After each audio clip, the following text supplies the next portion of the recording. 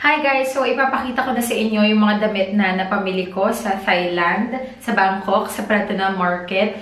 Uh, kung matatandaan ko, if matatandaan ko yung mga presyo guys, sasabihin ko sa inyo. Pero kung hindi ko na, kung hindi ko na matandaan yung price, basta ang naaalala ko, ang starting ng presyo na binayaran ko is 100 baht to 180.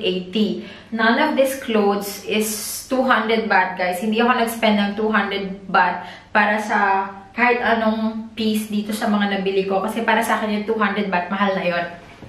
Kasi kung makakabili naman ako ng lower than 200 baht, yun na lang yung bibilin ko, guys. Kung, um, excuse me. Yan. Lumipat ako dito sa kwarto kasi hindi ko ma-imagine, makalculate ko paano ko ipapakita sa inyo mga damit. So, yun yun guys. Magsimula na tayo ha. Ang tagal na nito. So, ito yung una nabili ko. Para siyang short na skirt na, basta short na skirt na ganyan. Basta sa likod short siya. Yan. And sa harap, para siyang may skirt. Ano bang tawag dito? Skirt. Skirt. Basta siya yun, guys. Uh, 120 ata to. Uh, basta lahat ng binili ko is wholesale. Ibig sabihin, tatlong piraso ng isang design. Isa lang ang design niya, guys, pero iba't ibang kulay. So, 120. Ito, parang tangerine na color. Tangerine ba ang tawag dito? Tapos, color black. Yan. Ito naman, meron siyang maliit na yan, meron siyang maliit na bow dito. Yan, guys. And, ang alam ko may puti ito guys. Kasi yung ibang damit, uh, nagamit ko na sila and nasa labahan sila. Hindi pa ako naglalabas. So, yun na yun. Basta tatlong kulay siya. So, yun na yun guys. Itapon na natin doon. And yung susunod naman na short din siya. High waist na short. Yan siya. Yan. Medyo Chanel-inspired yung tela niya, guys. 100, parang 120 yata yung binayad ko dito. 120 baht. So, yan. Isang color black and navy, navy blue ba to? Basta navy, navy blue, yan. And isang white, yan. So, yan. High waist siya na short. Itapon na natin dun, guys. Kasi, ay, ito pala yung white na, yan. Ito naman yung white na isang klaseng short pant din. Basta skirt siya sa harap and short siya sa likod.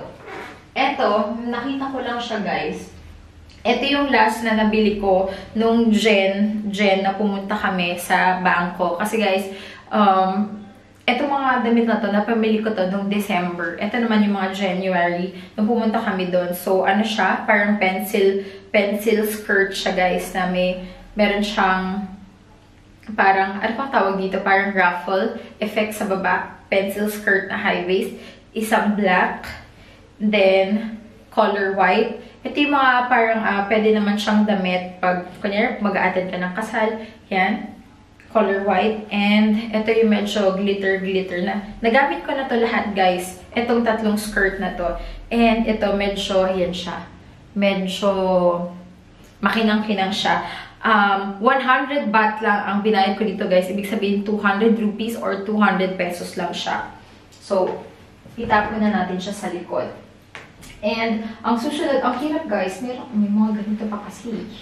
May mga hanger pa. So, ito, susunod na item is palazzo pants. Alam ko, palazzo pant ang tawag dito. So, tatayip ako para pakita sa inyo yan. Yan siya guys. May bow siya sa harapan. And sa likod, yan, elastic siya. Parang garterized siya. And yan.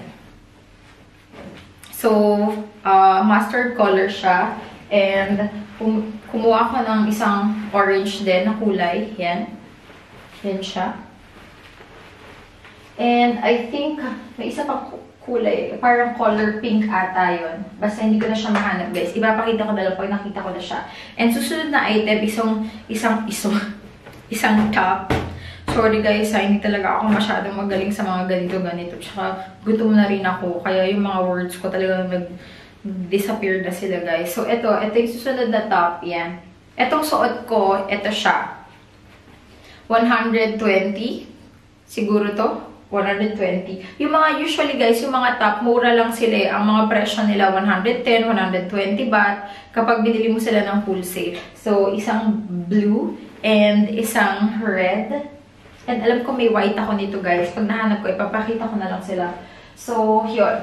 Ang susunod naman ay skirt. Yan, pang malakasang skirt guys mga pang, ano siya, mga pang Heart Evangelista. Binili ko to kasi, alam niyo guys, idol na idol ko talaga si Heart Evangelista pagdating sa, pagdating sa fashion. So, nung nakita ko to, sabi ko, ganito yung mga skirt ni Heart Evangelista, lalo na yung mga nirelease niya na skirt sa kamiseta. So, kumuha ako nito, yan, skirt siya.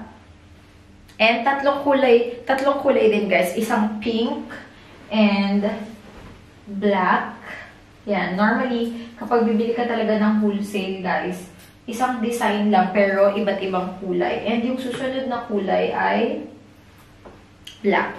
Yan. Makikita mag-call, nakakaloka. And black, guys. Yan siya. Parang layered and ruffled skirt siya. And, itapo na natin yon sa kabila. At itong white. Yan. So, yun.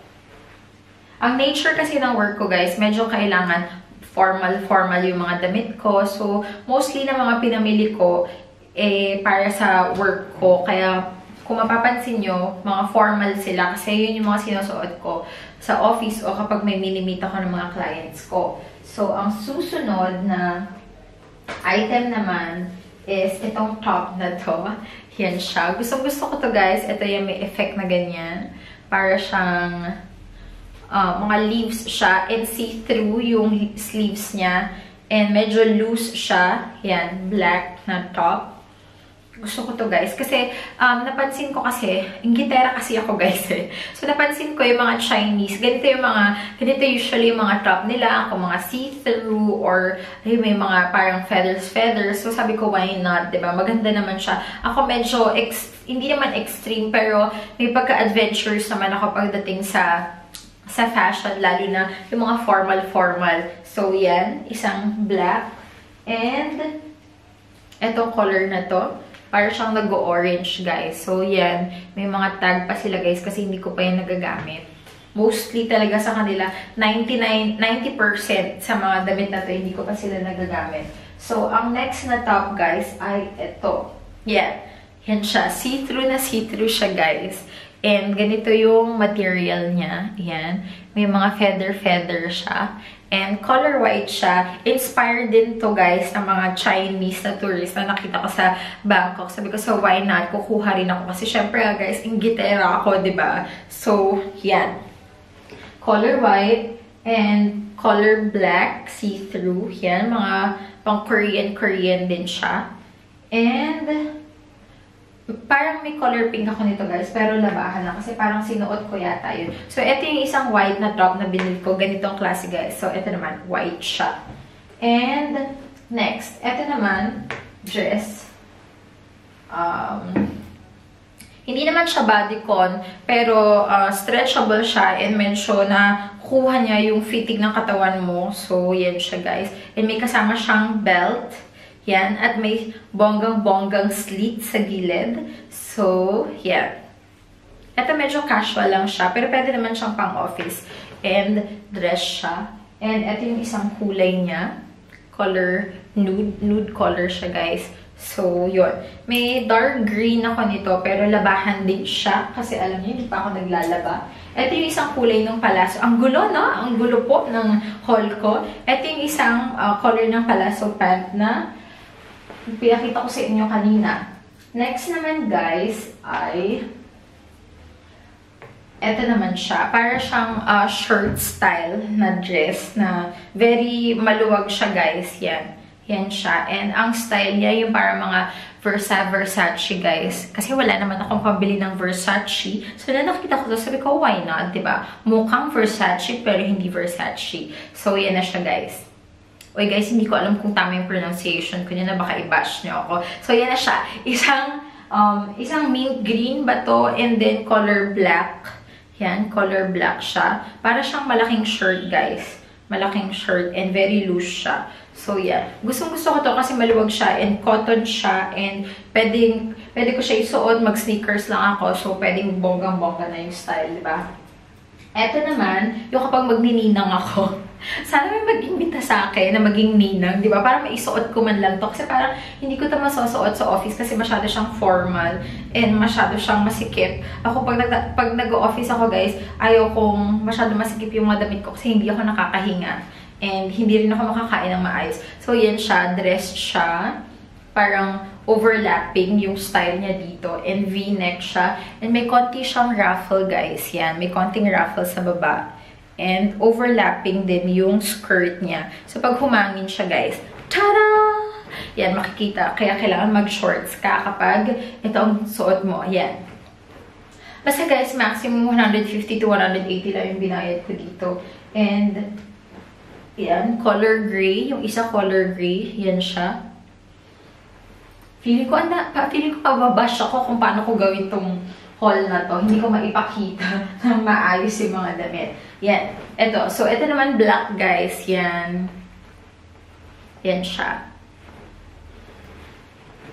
And yung susunod naman is, yan. Patapos na ako, guys. Konti na lang to. And pagtapos na pagkatapos ko nito, ibabalik ko na siya. Ibabalik ko siya kung saan man sila dapat. Yan. Ito, ito kompleto for the first time yung tatlong kulay. Isang white, isang parang nude pink, blush pink, and isang black. Ito gusto ko to kasi masyado talaga siyang uh, opisina, pang opisina. Masyado siyang madam, itong dress na to. So, yan siya. Pang office lang siya, guys. Formal siya. And may kasama din siyang belt. Yan. And yan siya.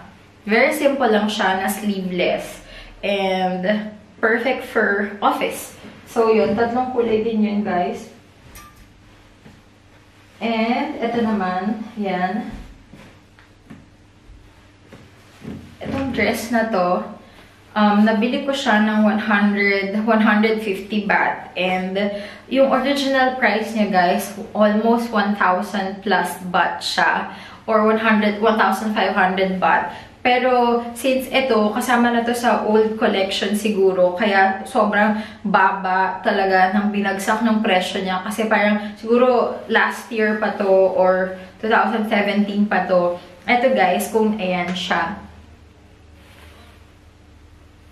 Very simple lang siya guys, pero kasi yung ganitong tela, parang Chanel inspired siya. Kung gusto nyo ng mga Chanel na mga tela, and Chanel inspired na mga outfits pero yung budget friendly kasi alam niyo naman guys ang mahal ng mga Chanel na damit lalo na yung mga jackets nila and yung mga skirts nila or dress.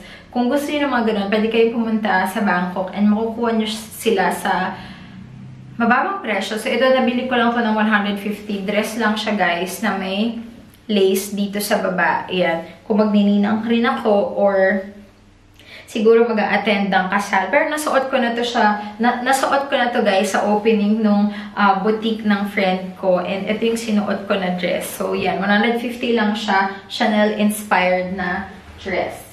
Next, my gosh, matatapos na tayo guys. Marami pa dito. Wait lang. So, yun. So, eto naman yung next na t-shirts. Marami akong t-shirts na bili guys, pero nasa labahan sila or hindi ko sila mahanap. So, ito t-shirt na to, 100... Yan, may mga pearls, pearls siya guys. Yan, nagpo-focus yan. And simple lang siya, white t-shirt. Mahilig ako sa white t-shirt. And may yellow din siya. Yan, yellow t-shirt. Simpleng t-shirt lang siya guys. Yan, may mga design siya. And, yun. 120, 110 or 100 baht siguro yung binayad ko doon. And ito naman, simpleng top lang siya pang opisina or pang ninang or mga pang ganun, mga pang tita na damit. Siyempre, tita na tayo guys, diba? Yan, 100 baht. 100 baht ang binayad ko dito.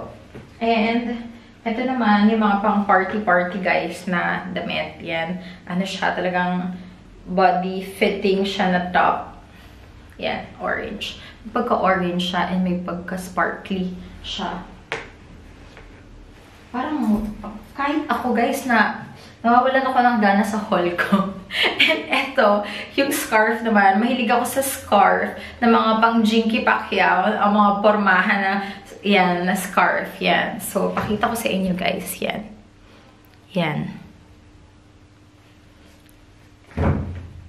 Nakalimutan ko na guys, pero parang 150 ata to. 120 or 150. Basta yun na yun guys.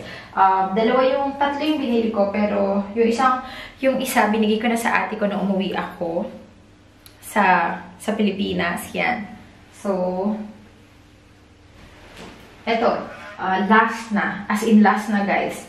Ito naman yung mga skirt na mga pang Shinky Pacquiao din. Akalain mo, no? Idol ko sa pagdadamit si Shinky Pacquiao. Hindi, seriously guys, gusto ko, gusto ko yung mga ganong mga damit. Wait, nakikita ang bra natin.